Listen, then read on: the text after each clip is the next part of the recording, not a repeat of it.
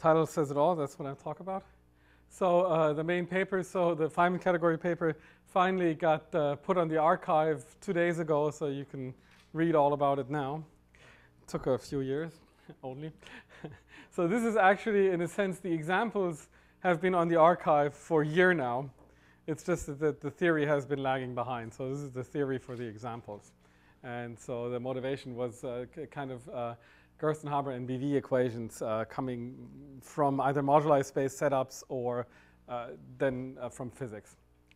All right, uh, so uh, what is what is this goal of Feynman categories? What is it supposed to do? So they're supposed to give you a lingua universalis for operations and relations, uh, which include all such known gadgets as examples. So that's a good sentence.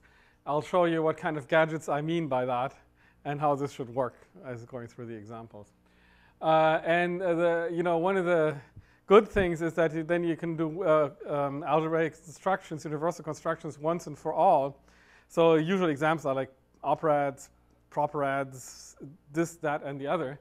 And you can, you can do these things once and for all and you're done. So applications, so this is the background theory where you can do these universal constructions. So uh, people then ask, what is, what is that good for? So what you want to actually do is, this was sort of the sequel paper, you want to find out something about the geometry of something else by looking at operations on them. But it can happen that you have zillions of operations and you kind of have to organize them and see how they fit together and what kind of information you can extract and what kind of information follows from having these operations. So part of the universal uh, constructions we will do is say you have a lot of operations, like an operad full, then you get some smaller class of operations like just the Lie algebra, which is better handled, handleable. All right, so I'll talk about that. Uh, so this is the plan. I'll give a warm up because uh, so it goes like this. It's always difficult to give this, so I could start with the examples and then give the definitions. But then I'd have to define all the examples, and people would ask me, what's the definition of the example? So unfortunately, the examples will be pretty much at the end. Geometry will be in the very end, but if you fall asleep, you should wake up. There will be symplectic and stuff at the end in moduli spaces. In the meantime, I'll do a warm-up just to get you ready for the category language, which is in, in, uh, in section two. And then I'll just give you the definition. And that's actually the beauty of it. This is what I want to say, too. It's after sort of distilling this, this categorical framework, that's what it is and was built for something, but it might be very useful for other things as well. And this has no mention of operads or anything in it. So you'll see that.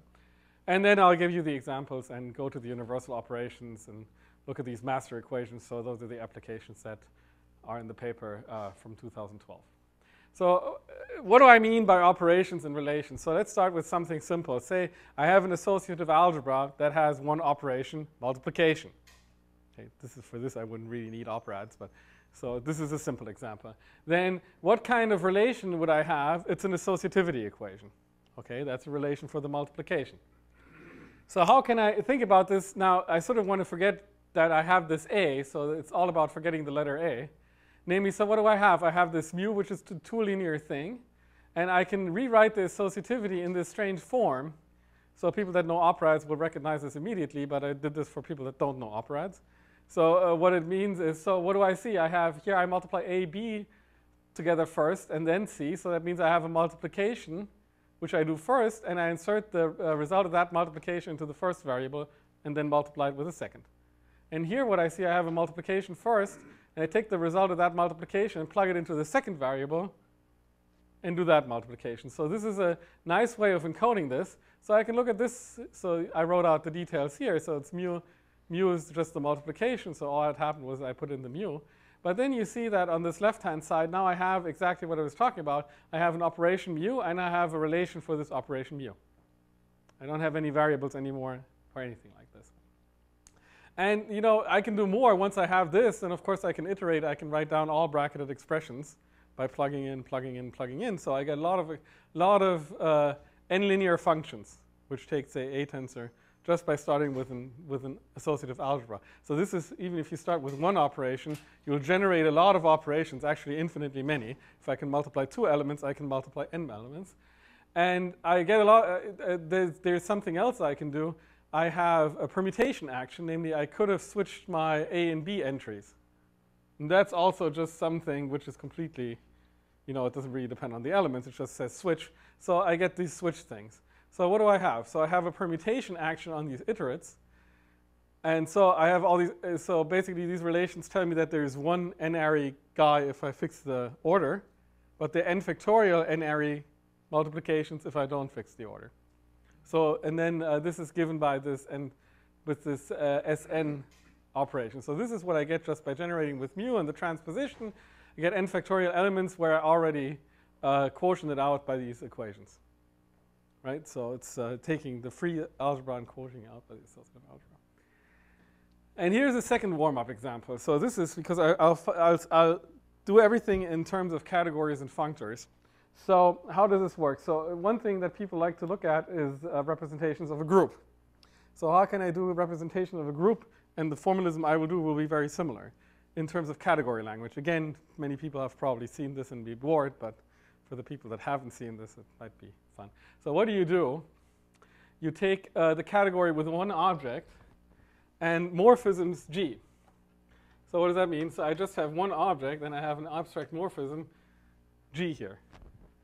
Then, uh, then if, I, if I have morphisms, I'm supposed to be able to compose them. But this is where my multiplication comes in. The composition of morphism is just multiplication of elements. Uh, it's associative, so I'm lucky because they're supposed to be morphisms.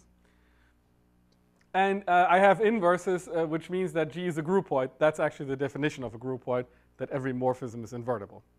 So I have a groupoid with one element. And now what's a representation? A representation is a functor rho from this underlying G to vect. And so, so what do I do? I, why is this a functor? And this is actually kind of nice. So I have rho. And, and so what does it do? I have rho of the star my UI vector space V. And the action is rho of G on this vector space V. And this is actually kind of nice because that sort of, it, it, it's, you know, when you learn group theory, you always say it's a pair of rho and V and rho is a morphism. So you actually more or less already know that actually, even if you define it without using the word functor, you're actually defining a functor because V is the functor on the underlying object and the operation in N, and V are the morphisms. And so uh, what's our kind of universal constructions that you can do with this? If you have a subgroup H and V, or if I have a morphism of, of H going to V, I'll get a functor on just by doing that on the morphisms. And what I can do is I can certainly pull back, that's restriction. But I can also push forward. That's categorically not that easy. You have to, it's a, it's a left Kan extension. You can actually compute it, it's kind of a nice thing. And what I didn't put in is I can also, another universal construction would be, I could take, uh, if I have this, I can uh, look at co-invariance and invariance on the space, and these are also categorical constructions. They're limits and co-limits. So all these things that you usually do are just limits, co-limits, Kan extensions, push forwards, pullbacks. All right? And what I'm going to do is I'm going to take generalize all this setup to something very much more complicated, but I can do the same stuff. That's the idea. All right. Questions about this? Okay. So uh, then we can just get right down to the definition. So uh, the Feynman category, and this is maybe why it took three years, I got it down to three pieces of data and three axioms. There used to be more. So uh, the three pieces of data are the following. I take a groupoid V. This is going to be the symmetries of the theory. Uh, then I take a symmetric monoidal category F. That's the, that's the meat part. And uh, of course, I have to relate them so there's a functor from V to F. Okay? So if you're a purist, I could say it's one piece of data, a functor. But yes. Yes, it's a groupoid. Okay. And it usually does. But we'll get back to that. So what is the, sorry, uh, yes. What, what, what is a groupoid? A groupoid is a category in which every morphism is invertible. So it's like, yeah. So if you, it's exactly this picture except that you might have something, you know, you might have another object and you'll have, everything here is an isomorphism, but this guy also has to be an isomorphism, has to have an inverse. All right, so uh, then this is, this is notation. So that's my data, and, and I'll get this. So since, since you see, this is a lot, slightly asymmetric. This is just a groupoid that's a symmetric monoidal category, okay?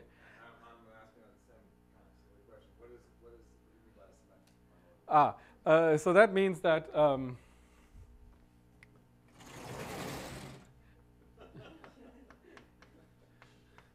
uh, so that means So let me give an example and then give the definition. So uh, a vector with tensor product, that's a symmetric monoidal category. So what does it mean? If I have two objects, two vector spaces, okay, I can associate to that the tensor product. So, uh, so the first thing would be I have something from F cross F to F, which is called tensor product. Okay, and then you have to be a little bit careful. This should be associative, but that's that's not. I mean, you know, you need some morphisms from F tensor V tensor U to uh, V tensor W tensor U. So this is part of the data. So if, if you write down what it is, it's about, it's about a page of data. But in principle, what you have for vector spaces, or for actually topological spaces, Cartesian product. You have a tensor product, and sort of you can, it's, it's not quite really associative, but only for a stupid reason. There's an isomorphism between them.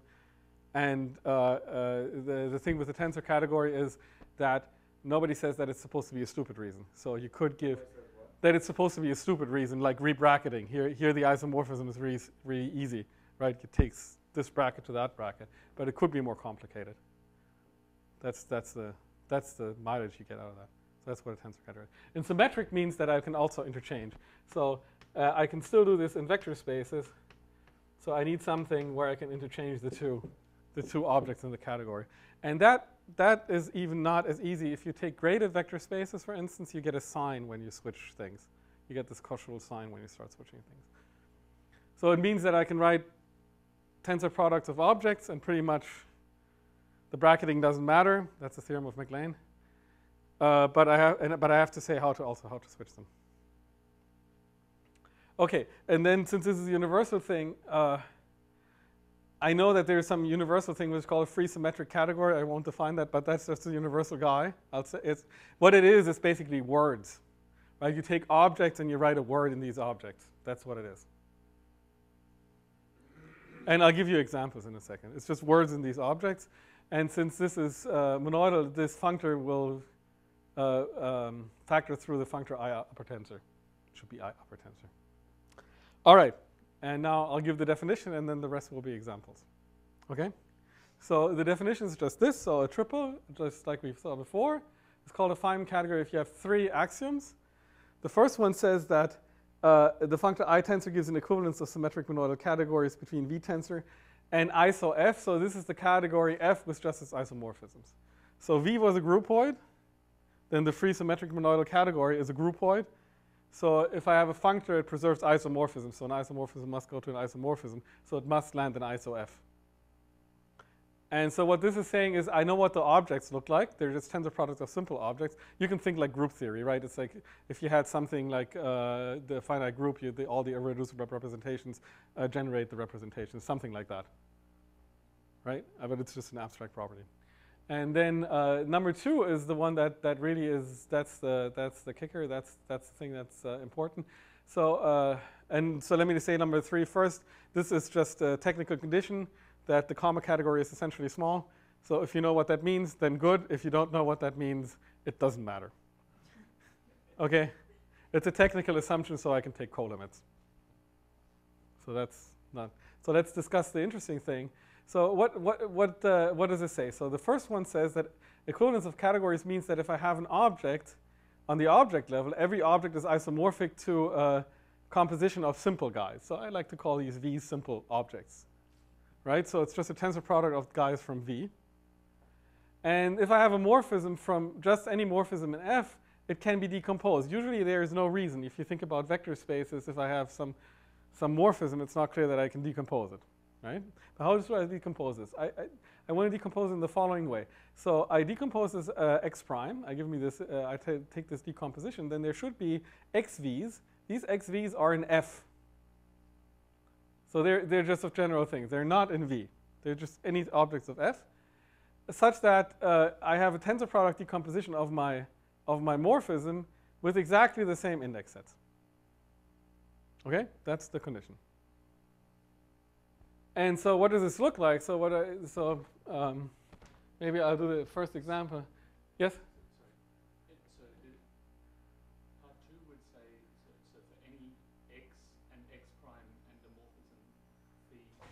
Yeah, and chosen isomorphism here. And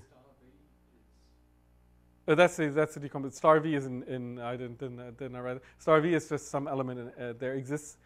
Uh, so you choose an isomorphism. Star v is in v. Ah, sorry. Oh, there's a typo. Yeah, this should be x prime. Sorry, Instavi is In v. fixed. a fixed- No, any any. So you choose a decomposition. It's an equivalence of categories. So I pick an object x prime. I know it's isomorphic to some decomposition of objects coming from v. That's it. I choose such a decomposition. Okay, and that will have some some elements in there. Yeah, sorry, there's a prime missing. Yeah, that's the danger if you give the talk the first time with the things. All right. Other questions? Let me give an example and then flash back to the slide. Here's a, here's a good example, which is uh, which actually does play a role. This is not why it was invented, but this does play a big role.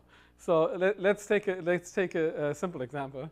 Uh, let's survey this uh, category of finite sets with surjections. So objects are finite sets, morphisms are surjections. Uh, the monoidal structure is disjoint union. Take two sets, it's monoidal structure. So let one be the, the and let one be the trivial uh, category with just one object. Let me call that star. Okay, and uh, it has to have an identity. That's it. Okay, so uh, actually you get something interesting out of this. So, so, so this will be my V. So what is I tensor? I tensor is equivalent to the category with just objects, the natural numbers. And how should I think about that? So a natural number, I think of the set 1 to n, right? And this is just, uh, let, let 1 be I star of, I can, I don't, I have, that, that's, that's my name, say this is my functor I, which sends the object star to 1. Could be any other one element set, that's not important. And then if I take this joint union of uh, 1 n times, this is actually the same set as uh, where I wrote equal, it's isomorphic. Right? I mean, 1, 1, 1, 1, it's just an n element set, that's isomorphic to 1 to n. So then uh, what are the isomorphisms in this category of surjections? Well, they're, they're the permutation, the, sorry, they're the isomorphisms. But uh, any, so I, this is fully, so uh, what I get here as the image of this well, now I have to say, I'll say categorically, and then I just get the skeleton, and the isomorphisms are Sn. Right? So any object is isomorphic, so I get the, the equivalence of categories. Right? Because the, uh, the uh, category of finite sets is equivalent to the category of just n, uh, the n element sets 1 to n with Sn, with Sn action as isomorphisms. That's isosurjections. And what's this decomposition? This is sort of I hope I did this right. So yeah, if I, if I uh, and I, I, messed it up again, this is supposed to be t. So if t is, um, t is isomorphic to, oh, that's terrible. T, this is terrible. So t, if t is isomorphic to,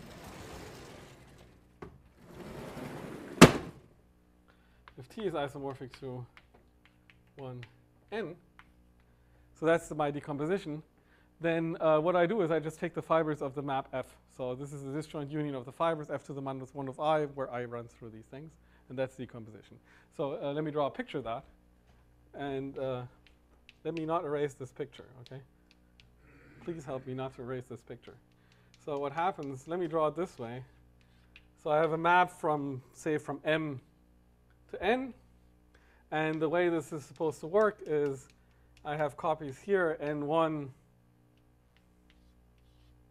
or maybe it's called from n to m. Then it's m1 up to mn. And these map here, and these map here, and these map there. Okay? That's the picture. And that's the, that's the general picture. This picture is good. Okay? So this is so this is a nice example. Okay, now, now example. So this is actually something which will maybe come up later. So this is a non-trivial example. Although it sounds like I'm not doing much. All right, uh, I need one more definition and then I can uh, go through the examples and see what this does. So uh, what I do now is, so it, uh, let me say what this is good for. Right, I, I announce this as something like being about operads and so on and so forth, okay? Uh, I don't have operads yet. How do I get operads? Operads will be functors from this category. That's the, the generalization of operads will be functors from Feynman categories. Okay? So functors to what? So I, I take a, a another uh, symmetric monoidal category C and my Feynman category F. And now I look at strong symmetric monoidal functors uh, from F into C. And I'll call them F ops in C. Sounds like operad. Could be a prop, could be anything. And V mods is just regular functors from the underlying symmetries to C. All right? So uh, what kind of universal things can you say? So this is now at the moment still just pure category theory in a sense. If I have, since this, since I have the inclusion of this uh, functor i from, from V to F, I can restrict any, any functor from F to C to, to V. That's a forgetful morphism from one functor category to another. And the first theorem you can actually prove is that this has a left adjoint, a free functor. So now, now actually I have, for instance, free operads, free props, free this, free that, free, free modular operads, free cyclic operads, free anything. I don't have to do a separate construction. I have a left adjoint free. And it works because of condition two. So. So it's, it's the Kan extension, and then you have to check that the Kan extension is monoidal, and it's monoidal precisely because it is condition two. So anything you prove goes back to condition two. All right, so uh, what are the things that you're probably maybe or something after, and why is this called Feynman category? So a Feynman category might evoke the idea of Feynman graphs. So you might think that examples have to do something with graphs. So, but the cat so the important thing to say is the definition of the category has nothing to do with graphs. There were no graphs. So I, I refrained from doing graphs as an example. But of course, graphs should be an example. I called it Feynman after all. So how does this work? And this slide is, I'll show it to you, but more like an advertisement. If you ever work with graphs and you want to really do calculations, Borisov and Manin uh, invented a really great category of graphs. This is uh, one of the nicest gadgets I've found for handling all the, all the things you would ever want to do to graphs. Okay, and it's, it's kind of, it's, uh, so the first one you can find already in other things. So for a, graph is just a tuple of flags, vertices, and uh, a boundary map and an involution. So uh, what you're thinking is that if, if I want to draw down a graph, and this is, uh, can you see? Yeah, I guess here's fine. Uh, you, you would sort of give the vertices of the graph, and flags are half edges. And then what else would you, you'd have to say where these flags, actually that's the map, this flag is adjacent to that vertex, this one to that vertex. And then finally you'd have to say, well, if I have edges, I'll just connect, I'll just connect some, some flags of my graph to some other flags of my graph, something like this. Doesn't have to be planar. So that's this thing. And uh, then I could have things left over, which I'll call tails. That means they, they don't get paired with anything. So, and then the question is, what is a graph morphism? And this is really, that's the thing that they had new, which, is, which I really love. It's, uh, it's a triple, where uh, if you have two graphs, uh, you have a push for, you have a morphism on vertices going in the direction you would think, maybe from vertices of the first graph to the vertices of the second graph. And you have a pullback from the flags that goes the opposite direction you would think. And then there's this, there's this very mysterious piece of additional data, which is sort of a flag gluing. It glues flags that disappear. Okay? So let me, let, me, let me do an example and tell you why this is good. So one thing you would certainly want to do is if you have two uh, vertices, I'm going awfully slow, am I? Yeah. So one morphism I would maybe love to do is I would, maybe this is, this is too much. Uh, one, two, three, four, one, one, two, three, four. Maybe I would put in an edge. So then it would be just the vertices go to the vertices, the map flag backwards would be these three flags go to this one, this one goes to that one, and this one goes to that one. Okay? And uh, this mysterious component would be nothing. But then what I could do is I maybe also want to contract the edge, so I can do this. So now I contracted the edge. So what is it? These two vertices now map to that vertex. And these three flags map back to these three flags. These three flags map back to these three flags. But the two flags of the edge have disappeared because I contracted them. And so this additional piece of information says any flag that has disappeared has been contracted as an edge. Okay? And the thing is, of course, now see if I if I draw a morphism like this because I can compose morphisms, now you see why you need this additional piece of data because you didn't know what flags, you know, which flags disappeared now. If I go just go from this to this, if I don't tell you which two flags I paired and, and contracted, you will never find out. Okay, so that's that's the definition of these things. And of course, so uh, and uh, what I will be dealing with is sort of, it's interesting. So I sort of get this ghost graph, I call it the ghost graph. So if I look at all the flags that disappeared, They all have to get paired. So this gives me a graph. So that's the ghost graph. So the, the ghost graph here is sort of becomes, so the graph itself here from this, so for this morphism, this, this graph, the same graph here is the ghost graph. That's the, if I just go from here to here, I say I glued these two edges and contracted them. So in that case, in, this way, more, uh, actually this is the very important thing. So um, the way Feynman categories are set up, it, if you have examples dealing with graphs, the graphs are morphisms, not objects. The objects are actually just stars. They're just agglomerates of corollas. Okay? And once and then uh, the graphs come in as the ghost graph of these morphisms. So you see that this is a morphism just from a corolla, which means uh, so a corolla is a one vertex, no edge uh, graph. An aggregate is a is a disjoint union of these, and this is one map like this. All right, and now I'm done. See. So what, what, Yes. This was to, to, to, to give a, get, get a Feynman category. Oh yeah, sorry, I didn't say that. So the point is that if I take a subcategory of this category of graphs for operads, for generalizing operads, and they almost succeeded, except that they are one category, category level too low. They took the graphs as objects, not as morphisms. So what I did is more or less a categorification of this, and then it actually works out. Well, uh, but, but was this motivated by, by family graphs or not? Uh, no, this was motivated by generalizing operads, props, and so on and so on. How did get into here? Uh, how does Feynman get into it? Um, yeah, th- th- sort of through the, through the functors. So Feynman, the, the way I think about it is sort of um, basically something like this. Uh, so you have an n-point function which is blank, and that is supposed to be a doodle for, for an n-point function. So the way you would think about this is as an n-point function, but it doesn't have anything in it yet. So if, if I, but if I start fixing functors, then the thing what I might want to write down is fields phi 1 to phi n, and then this might be phi 1 to phi n. And then I sort of, but then I can write down sort of, so how do I get, and then I could look like an S matrix kind of thing. So if I have a target, if this thing is a target, so I have a morphism, say, of graphs, say this complicated graph to something like this, okay, then I would say, well, this is, this is some, so this is a piece of the n-point function here, which comes from the interaction here, where, the, where I fix the outside fields to be whatever the fields were. So that's how, that's, how, that's, that's how I look at it. So these stars are sort of the effective, these are the sort of the S matrices, and these, these give you the components of the S matrix, which map into the S matrix. Yeah, right, exactly. It's an effective vertex. That's what it looks like.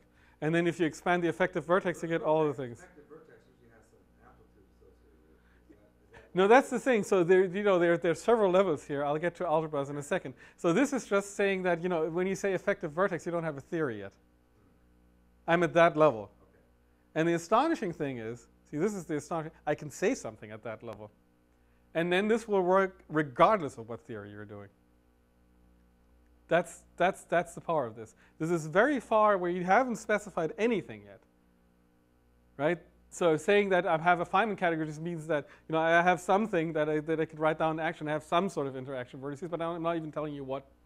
yeah, you're not saying about it. No, I'm not saying anything about it, except that I want this thing that sort of you have in renormalization. That if I have a vertex I see in this effective thing, right? So, so you know, about Dyson-Schwinger equations or something like that. So if I see uh, in this effective expansion, I see a vertex, I can plug into that vertex again. And that's this hereditary condition, this condition two. That means that if I see something, I could plug it in, plug in there and expand it, re-expand it out. That's what's going on. But see, you don't need to know this. It's just, it will help, but it's just a definition about a category. Okay? I'm, I'm so, you, see, I'm getting giddy, but I, I really like this because it just works for so many things that you didn't expect it to work for. So, and the, the remark here, thank you for reminding me, I didn't say the, the theorem here, is if I take the subcategory where I just have aggregates, just these stars, and look at morphisms from stars to stars, that's a Feynman category. Not the full category of graphs, that won't work.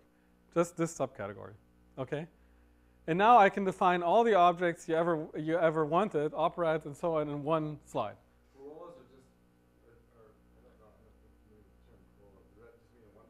Uh, corolla is a, is a graph with one vertex and no edges.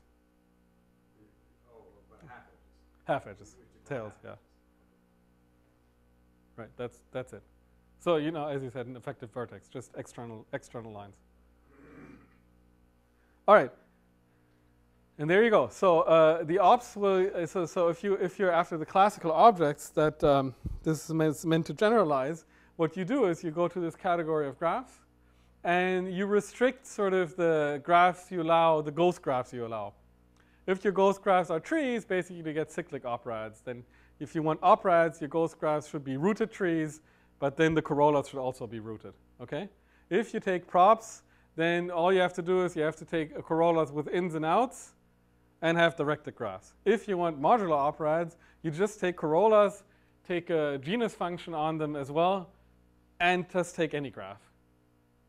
So it's really nice. So any type of so so this could go on. You know, NC modular operads, uh, wheeled props, pro, the properads, and whatever. It's just you massage, you give conditions on the um, on the gra- on the ghost graphs. That's it. And so now, now actually, it's the first time you can say that all these operadic-like things are exactly the same. You know, there's a term for it. They're just, you know, they're just functors from Feynman categories. Yes.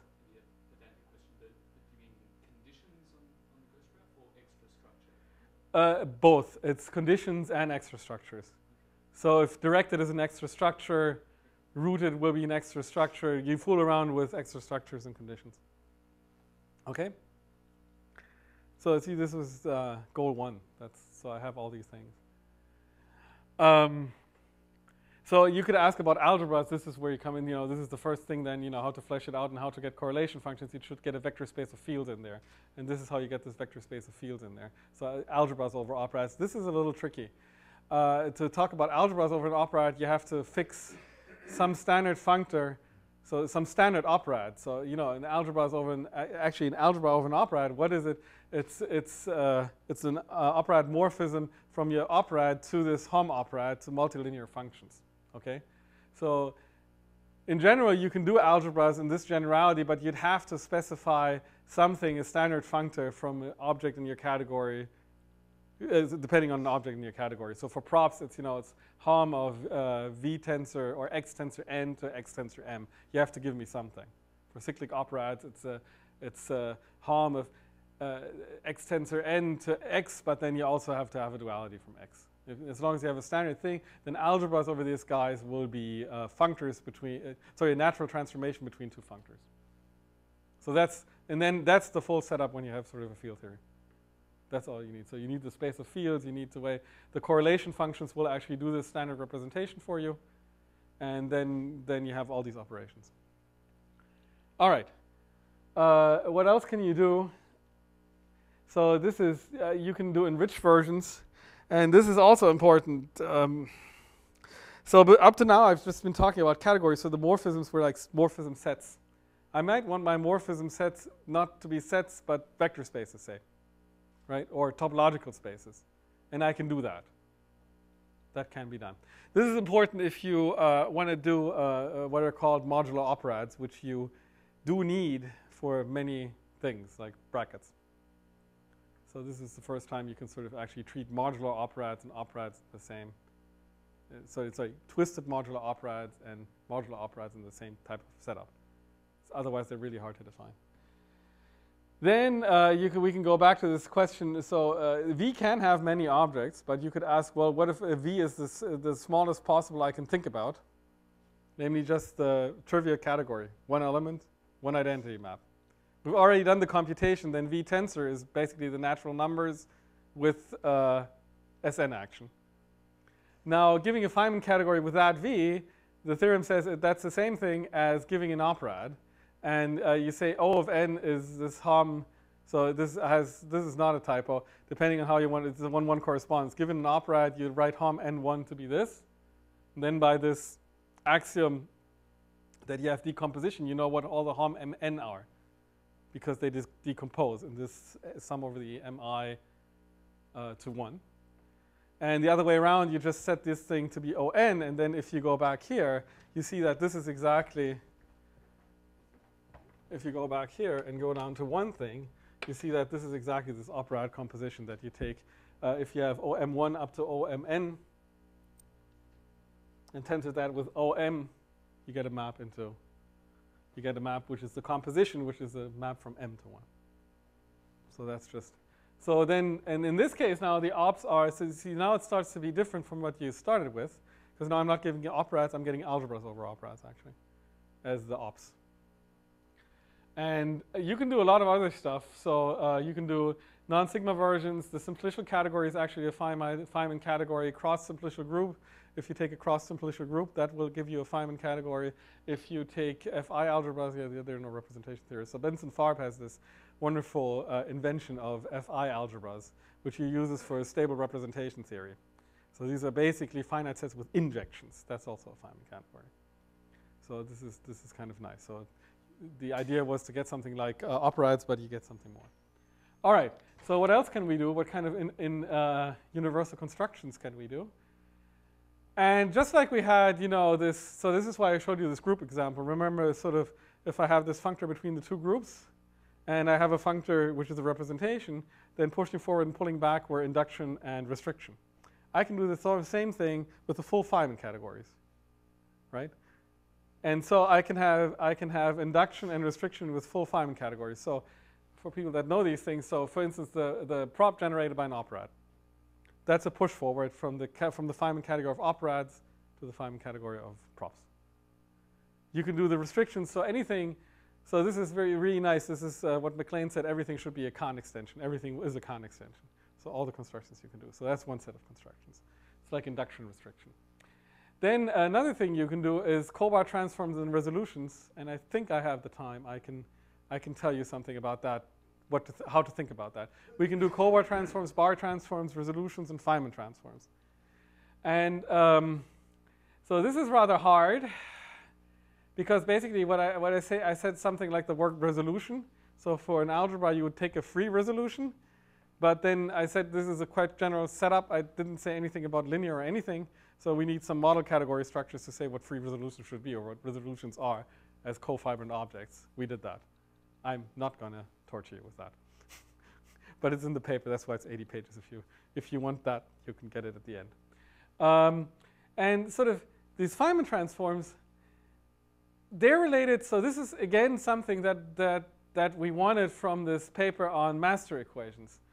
Those are the reasons somehow, what is it? So A, in these master equations, you have brackets and BV uh, operators. So there's a two-part question. One, where do these brackets and BV operators come from? And two, how do I get the master equations? And for that, I need Feynman transforms. And I'll explain that in a second. And then sum four is something uh, which was really surprising. So this is joint work with, uh, I should have said the first thing. I, I, probably didn't say that. So the Feynman category paper, but it said on the slide, this was joint work with Ben Ward and uh, this paper, uh, there's, a, there's another paper which uh, we're currently writing up with uh, Imma Galvez Carrillo and Andy Tonks. And I don't have time to talk about this. I talked about this at Princeton University about three weeks ago or something like this. Uh, you can actually get a Hopf algebra from one of these Feynman categories. And the Hopf algebras you get, for instance, for the surjection one, up to a twist is the one for, for, for Goncharov's for multi-zeta values. So this simple surjection operad that gives you a Hopf algebra. And uh, that Hopf algebra is basically the Hopf algebra that works because uh, that tells you that every simplicial object has this Hopf algebra structure. It's really cute. All right. So, um, so one question was, it always was sort of a mystery to me how uh, Gerstenhaber got his bracket, or how you get this. You can write it down for an if you have an operad, you, you've, you've maybe seen that, but I'll go through it. There's a pre D bracket. Where does it come from? And is there some way of general nonsense that I can just produce this? And the answer is yes. And the answer is co-completion. So let me just go through this slide, and then I'll tell you what that means. Uh, so so th this is just a formal thing that you can take co-limits. And uh, it is monoidal again by something strange. It has monoidal product called the Day convolution. So I get a new uh, monoidal category. So this is a good thing to try to build a Feynman category. Now I do one thing. I take one element, so I'll build a Feynman category again with a trivial v. Uh, and I'll take the co-limit uh, over v of my inclusion functor i. The j is just that I go to the co-limit. All right. And then there's a theorem which says that if I take the symmetric monoidal category subcategory generated by I in this co-completion, that's a Feynman category. See, it's complete general nonsense. Actually, the theorem isn't that easy to prove. But let's see what this does for us. So I said operads are an example. It's the one where the morphisms are trees, right? Maybe I should have I should have. Uh, well, here was a tree picture. So this is this is for instance, yeah. So that's a tree. See, this is a, if I take a root here, then uh, so for operads, so this this middle guy doesn't exist, but there's a morphism like this, and say here was a root and here was a root, and then the root may be here, and this is a rooted tree. So the morphism is given by a rooted tree. So I take a functor, and then so uh, what is ON? So here I just say, well, I have this star. I say, let's say I, I, I, number the flags 1 to n, and I apply my functor to it. This should be an object, and this object I'll just call, call O of n. That's the nth part of the operad. And now what does the co-completion do? So what is O hat of i? So if I go to co-complete category, say vector spaces, what is it? It's a direct sum of the O n S n co-invariants. That's what it is. And now you can ask, so, so this, is, this is what the functor would do on this i. And now you can ask, well, what in this, in this uh, co-completion, what are the morphisms? And you can compute them. You can just sit down. It's a two-line computation. And you find that there's just, the morphisms are just given by this. They're classes of sum of circ i's. That's the only morphism, more or less, right? You have to say how many inputs and how many outputs, but that's the only morphism. And there you go. That's the pre-Lie structure. So it just popped out. I took the, I took the co-limit and I found out the universal operation, the only one that is in there is the circ product, which is the pre-Lie structure. And I get, I get uh, by taking anti-commutator, I get a Lie bracket. And there's something, uh, oh, the SN shouldn't be here. So it lifts, uh, so actually what Gerstenhaber did was he worked in the non-sigma case and then you don't take co-invariance. But this is kind of, we can get that back by lifting it. It's actually, it's, it's canonical when you're taking a, a symmetric setup. So here's a list, just to say that this works. You can go through the list and just start computing. And this pops out the structures you were looking for. If you start with operads, uh, you get, uh, so these are, these are, these are rooted trees, and the, the, you get the pre-Lie operad. Remember, this was a Feynman category with trivial V, and that was an operad. So you get the pre-Lie operad. If you start with odd operads, which means that you have rooted trees plus an oriented on orientation of the set of edges, you get odd pre-Lie. So if you just take planar, you would get all operations. That's kind of boring. Uh, if you take an operad with multiplication, so this is exactly the setup for Gerstenhaber, uh, sorry, for Deligne's conjecture on the Hochschild cohomology. What you do, you do the computation, you get the uh, the uh, the Feynman so you, so you get the operad of black and white rooted trees, and you see that you get pre-Lie plus multiplication, which is exactly what you need to get this Gerstenhaber. Uh, if you have cyclic, then it's, then it's weird. For cyclic, you don't get anything good. You just get some weird commutative multiplication.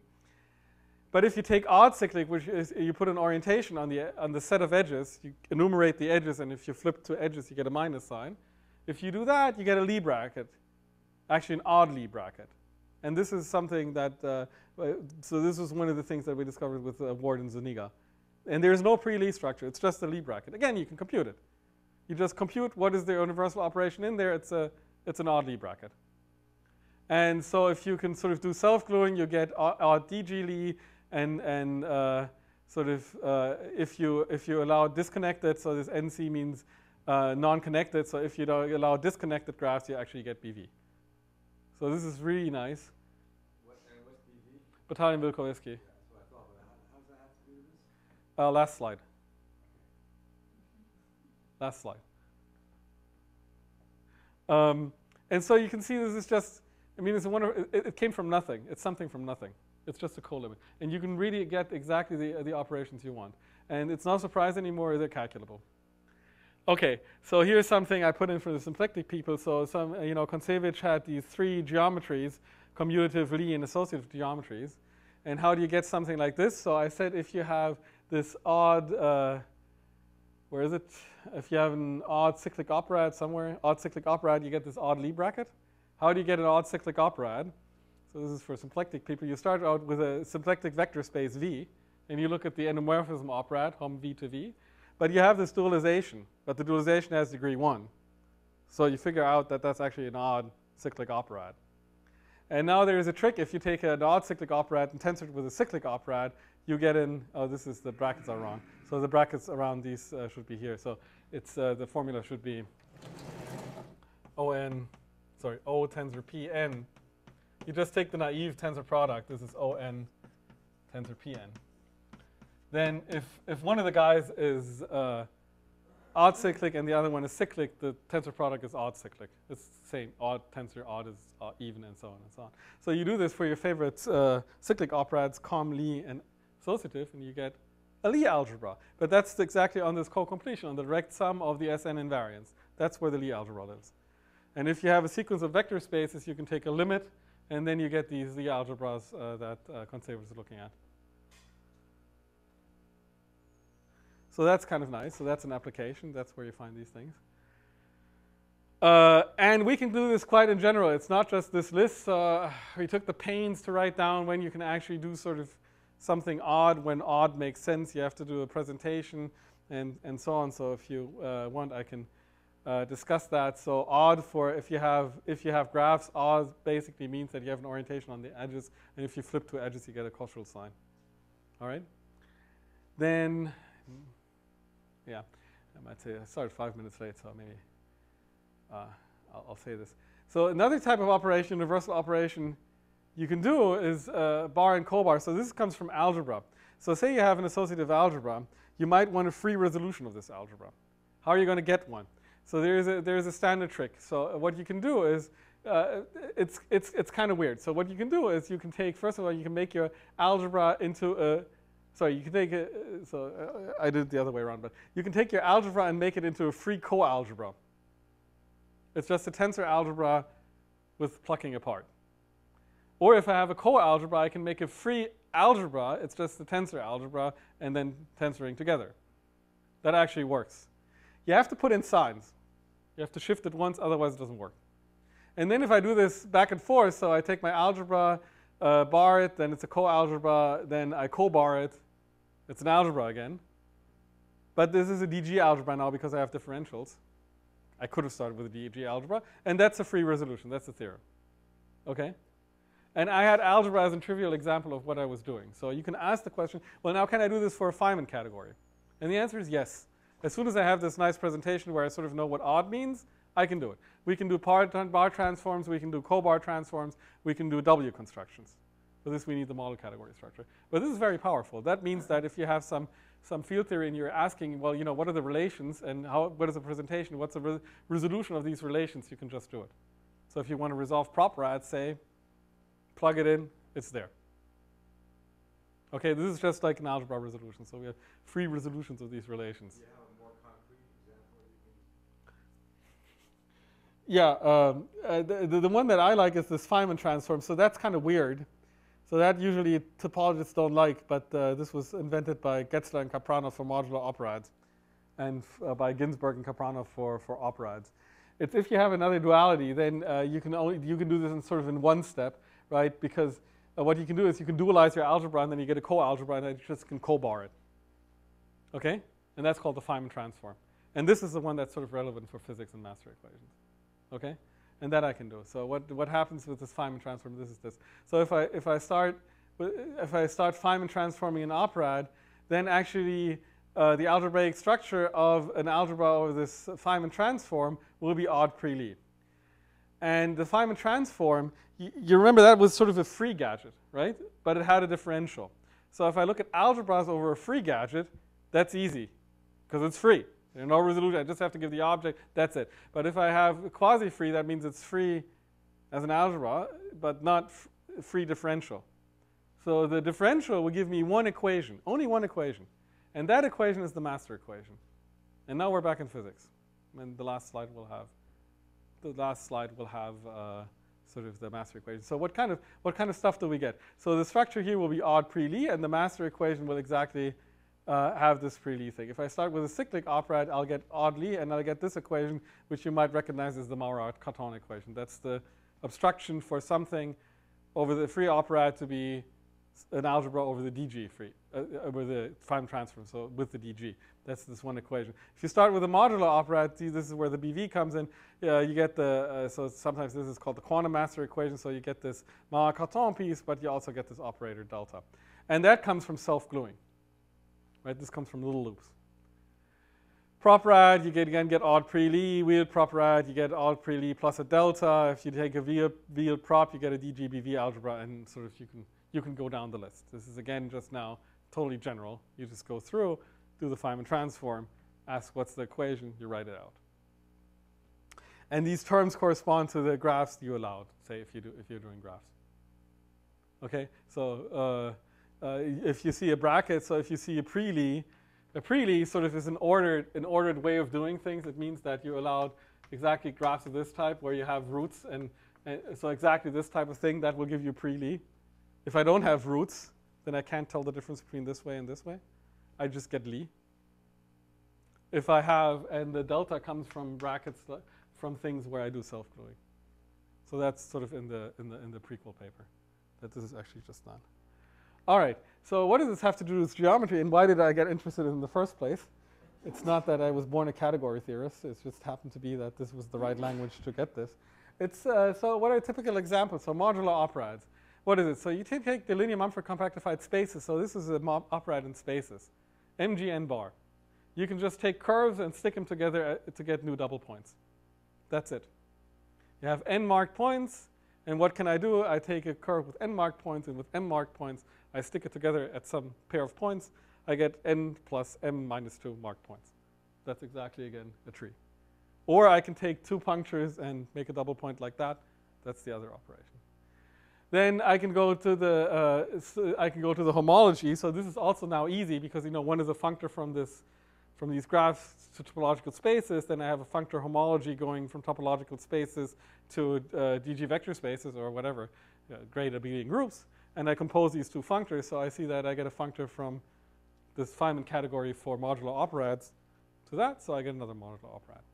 And so, and, and, then, then, you know, here you can say what it, what it is. So Gromov-Witten invariants give me this, Gromov-Witten uh, invariance now give me the functor between, between this modular operad and the standard structure of an NV. And then I know this is an algebra over this operad. And what does it buy me? Well, it buys me recursion relations uh, for Gromov-Witten invariants. That's what it does. I get these partial differential equations for the potential, and any equation I can find in H star so on, then I can, I can do this. Um, and what's the geometry behind these BV equations? So that's the last, that's, uh, I promised you the answer on the last slide. So this goes back to Sen and Zwiebach when they were doing string field theory and trying to get viable actions for string field theory. So they looked at moduli space and, and wrote down some equations. And then Stasheff, uh, Kimura, and Voronov tried to come up with a moduli space that would do this for you. So I said, and uh, See, here, here's something really interesting happens. So the answer is the following. I'll give you the answer first and then the explanation. The an- you're asking what kind of, you know, what kind of gluings governs string uh, field theory. What, are? Yeah, what, that's the question. What are the rules? What are the rules? What is kind of, you know, you should have something with surfaces, you should glue them somehow, and then the action should somehow satisfy this uh, quantum master equation. That's what Zwiebach wrote. And now, how can a mathematician think about that? So this is what they thought about. So a surface is kind of, so you should have a moduli space of surfaces. So MGN is good. Then you should, but then you have to get to the details, namely the gluing, right? I told you in the Deligne-Mumford, you just glue at, at punctures. But for that, actually, you have to compactify, right? Otherwise, it doesn't work. So after you, after you, after you did that, so what they did is they, they took a real blow up. So what that means is after you glue at punctures, after you glue that punctures, you sort of have to give a tangent vector at each puncture.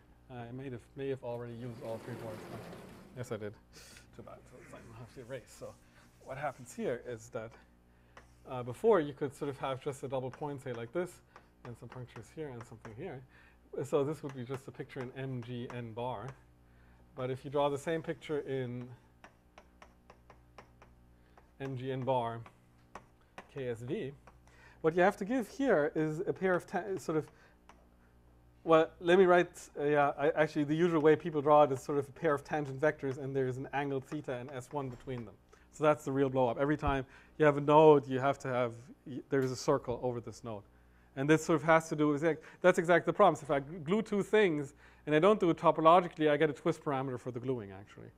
And that's this S1 twist parameter. So it's just a mathematician's way of saying what in the world are we gluing? You get this twist parameter. So that's what's going on at the topological level. Now you go down to chains or homology, then actually, so you don't have a well-defined operation, right? Because you have this twist parameter, you'd have to specify the twist parameter as well.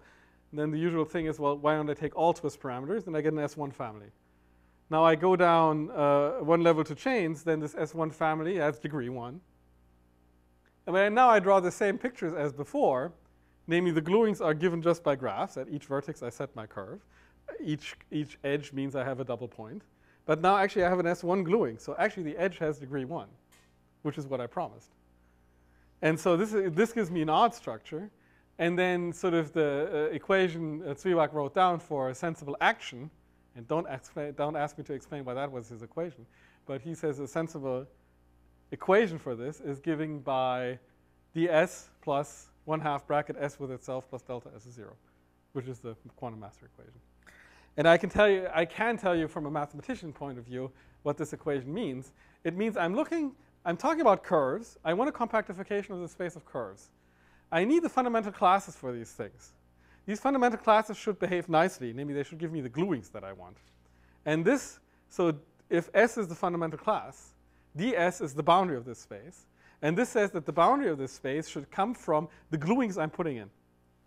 So in the Deligne-Mumford, it means that the boundary is given by, by uh, the two, two types of divisors where I have no, where I have double points that separate and, and double points that don't separate.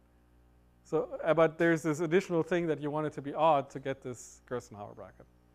All right, I think that was it. Yeah. So what what's next? One can uh, try. So I'll have to talk to Nick. I think there, you know, these Feynman categories. So, so the operations you're looking for, there should be some odd, even versions of something that doesn't exist yet. It's not modular operads. It's something. It doesn't exist, but I'm pretty sure in these Feynman category things we can write that down, whatever it is, and that that will tell us what's going on. Then uh, I didn't talk about Hopf algebras, but for these Hopf algebras, I mentioned uh, Goncharov. So there is a there is a Grothendieck-Teichmuller uh, group floating around. There's also uh, work by Willwacher where he gets this Grothendieck-Teichmuller space on a certain graph complex, and that's in this theory. This is one of those co-limits. So one should be able to see the Grothendieck-Teichmuller space. So then something strange happens, uh, Grothendieck-Teichmuller group, and it's actually so. Uh, there's something strange because I don't know. So usually you get these things by looking at automorphisms of fiber functors. I don't see where the fiber functors are. But I do get all the Hopf algebras that people get when they're looking at fiber functors. So it's weird. So Goncharov gets all these Hopf algebras looking at fiber functors. I get all these Hopf algebras from Feynman categories, and they're the same. The same set, so it should be somewhere there. And uh, so uh, this is a recent preprint by Kitchloo and Morava. They looked at the stable symplectic category, and they get a GT, GT action on that. And since it's a symplectic geometry seminar, so I spent the day yesterday talking to Nitu uh, about this. And I think it's the same. It's the same underlying principle. The way you get GT should be from from just these combinatorial things that you have these various operations on this very abstract level. And yeah, well, dot dot dot. I should stop here. Thanks.